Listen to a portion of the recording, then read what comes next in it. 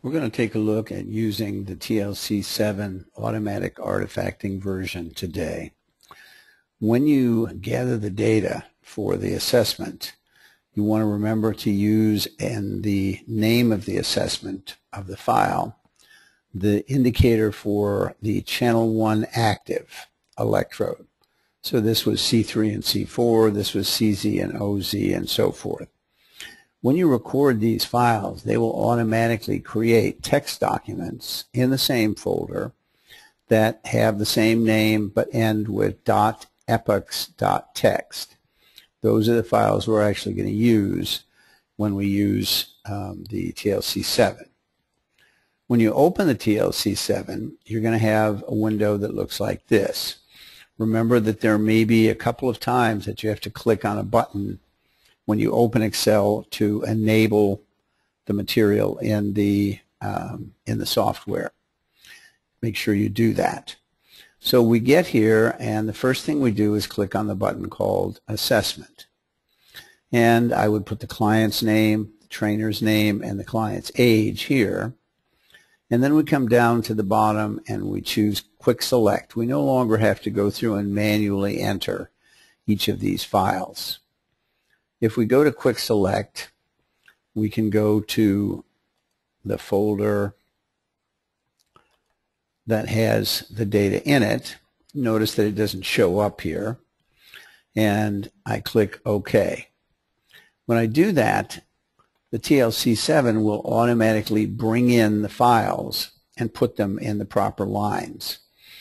You want to make make sure you want to verify. This is F3, this is C3 for central, FZ for midline, CZ for midline, T3 and P3. So they're all there.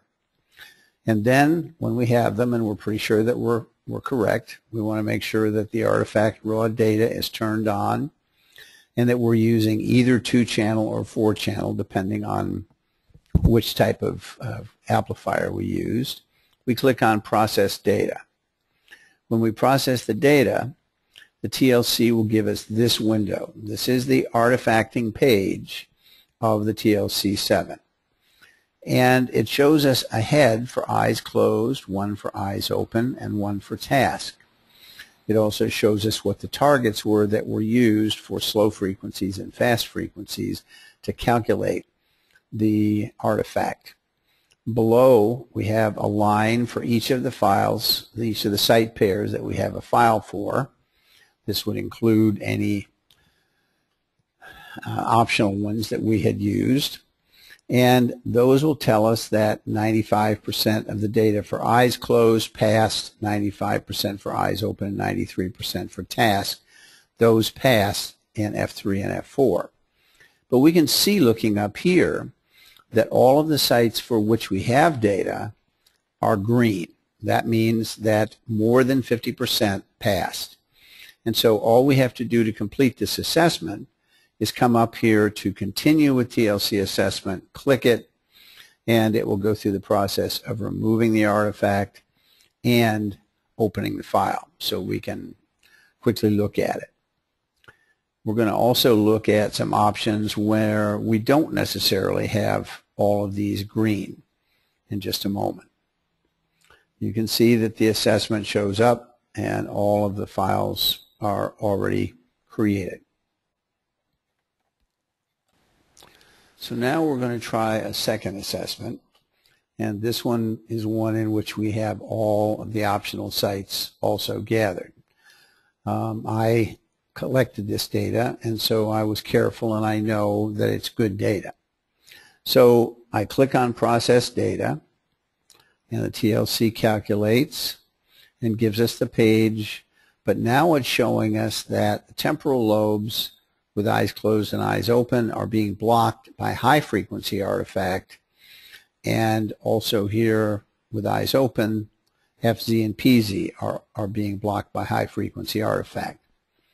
We do know that in the temporal lobes uh, and in the occipital lobes, it's possible for a client, if he lets his head hang forward in the occipital lobes or maintains tension in his jaw muscles in the temporal lobes, that those can create muscle artifact, which we don't want to pass into the assessment. But in this case, I know that wasn't true because I was I had the client literally sitting with his mouth hanging open so he couldn't tense his jaw muscles. So what I'm going to do is go to the T3 and T4 area and I'm going to just select the button over here that says hide or unhide and that will allow me to drill down into the data. We can see that we have a low frequency channel and a high frequency column. And those are all red, indicating that something was blocking each one of these rows. If we look at the, the uh, boldface type, we can see that it's almost always the fast wave channel that's blocking. So if I scroll down here, I can see that there are 30s, 40s, some 50s, um, as I keep going down with eyes open, I see that there are some 40s. Generally, it looks like if we were to set the target at around 45, a lot of this would pass. In fact, we don't really see any large jumps. We don't see any 80s or 120s or anything like that in here. So it's very possible that we could set it even as high as 50 if we wanted to and probably not be taking in artifact, but taking in actual activity. So I'm going to go up here to the high frequency threshold, and I'll set it at 45. This is a general change, so this is going to affect everything in all of the files. But since these have already passed, um, the chances are that there isn't very much that is up around 40 or 50 in those other sites. So I'm not really going to be adding any bad data to those. I've changed this to 45. I click on recalculate. And now I can see that everything except for T3 and T4 with eyes closed passed. If I scroll back up now so that I can look at the first 60 seconds of data here, I can see that there are some sites where I'm, I'm only 47%. I'm very, very close.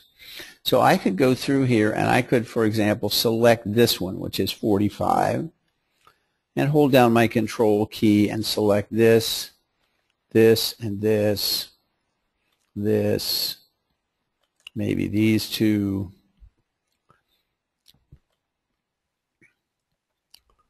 and go through the first 60 seconds, just adding those things in which are very, very close to the target that we set. And once I've done that,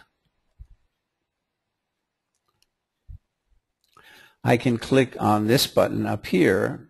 All I've done was select the cells. When I click Edit, what happens? Those cells all turn black. I moved those from artifacted or, or, blocked by artifact to active part of the, uh, the file. So what I've really done is two things. I've changed the general value here, which allowed all of these to change. And I have also um, changed specific items in some sites that I wanted to look at. So now I will, um, I think I already have recalculated. I'll click on to continue with the assessment and we'll let the assessment open.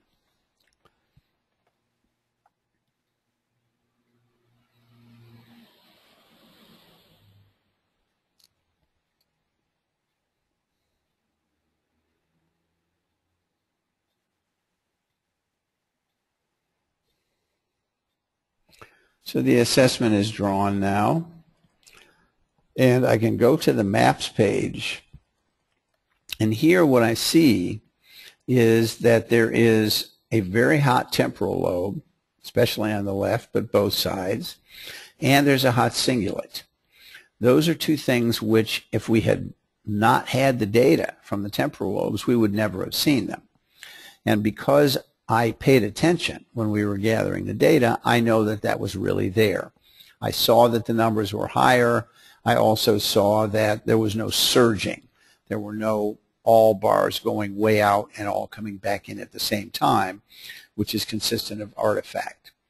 So the TLC assessment allows us to very quickly process a file where the data is good and it's clean, but it also allows us to make adjustments in places where we're sure that the data should be included, but it wasn't passed by the automatic.